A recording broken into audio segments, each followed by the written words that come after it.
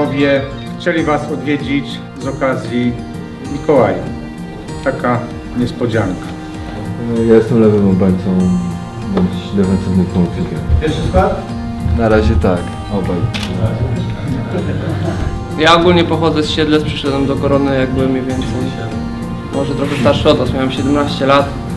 Grałem z tymi przerwami, co mówiłem, w Lechu, w Polonii Warszawa i w Śląsku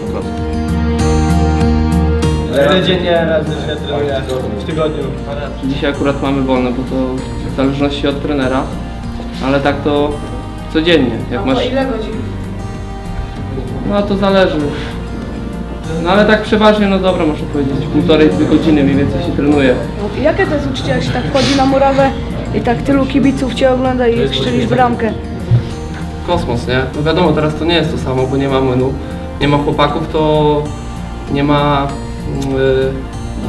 Takiego. no nic, no wiadomo, to czujesz w ogóle inaczej, nie? To się tam wydaje, bo jak pójdziesz na mecz i zobaczysz tylu kibiców ci siedzi czy coś, no to jest yy, naprawdę power. Najlepsze czasy to Korona miała w pierwszej lidze, tak jest moje zdanie.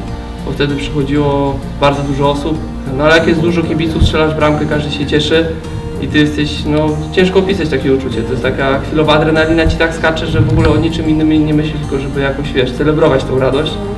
A że po prostu jeden je- jedzie ci na kolanach, drugi tam, wiesz, gdzieś leci, wiesz, się z chłopakami cieszyć. Ja uważam, że nie myślisz, po prostu robisz tyle razy e, taki, powtarzają się takie sytuacje na treningach, że tu nie jest stres, tylko bardziej logika, co zrobić, żeby było lepiej. Także pewne rzeczy też robimy na boisku automatycznie. Ja ogólnie pochodzę z biednej rodziny i miałem y, ciężko w życiu. Mimo tego rodzice się starali o wszystko, żeby mi pomóc. Ja dopiero teraz mniej więcej potrafię sobie uzmysłowić, jak to wszystko było, ale też dojeżdżamy autobusem. Nie było tak, że teraz większość rodzin, wiadomo, ma samochody. Kiedyś tak nie było. Ja po treningu na przykład jak kończyłem, miałem 15 km do domu, to musiałem po treningu centralnie biec ze 2-3 km, żeby zdążyć na autobus. Jak nie, to dwie godziny czekania. Niektórym przychodzi łatwo, ale teraz na przykład są dużo lepsze warunki. Są boiska, są naprawdę te orliki porobione, gdzie, gdzie można w jakiś sposób się tam umówić i grać w tą piłkę, tak? Ale nie wszyscy mieli po prostu tak łatwo w życiu, że rodzice przyjeżdżali po ciebie i i wiesz, i odwożą na treningi i wiadomo teraz jest dużo tych sekcji robionych, różne e, akademie sportowe, także też trzeba, trzeba z nich korzystać.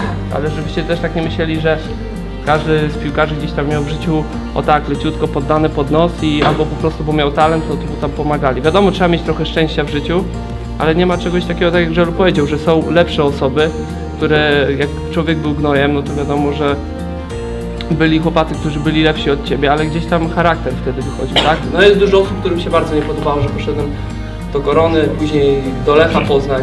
No jest też takie osoby, które po prostu nie okazały się nie tyle co moimi tam kolegami, tylko po prostu gdzieś tam wiadomo, jakieś docinki były czy coś, nie? No ale to wiadomo, za Knoja się dostawało docinki od chłopaków, trzeba było sobie w życiu radzić i tak samo teraz, nie? Ja? Widać, widać. Po siedmice Wisła Puławy.